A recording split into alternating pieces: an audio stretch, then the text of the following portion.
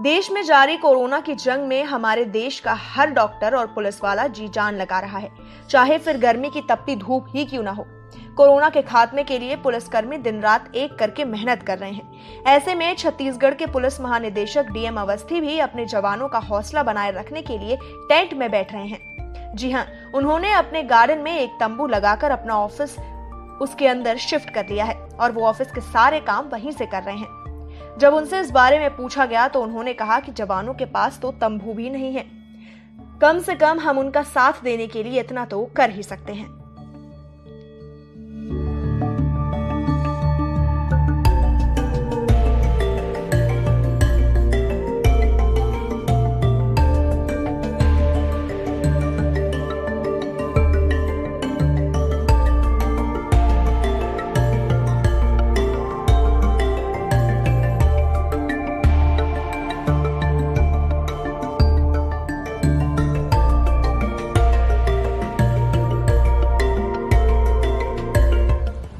क्या हुआ कि जब लॉकडाउन हुआ और सारी फोर्स हमें पूरी सड़कों पे उतारनी पड़ी, हमारे करीब जितनी भी हमारी ड्यूटियाँ थी उन्हें बंद करके हमने सारे फोर्स को पिकेट्स में और पेट्रोलिंग में लगाया, जिससे कि लॉकडाउन सफल हो।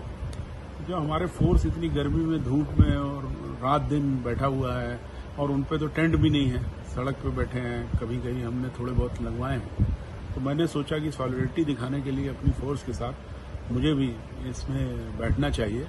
और इसलिए मैं पिछले एक महीने से जब से लॉकडाउन चल रहा है, इसी ट्रेंड में बैठ के काम निपटा रहा हूँ। यहाँ इसका अलग आनंद है।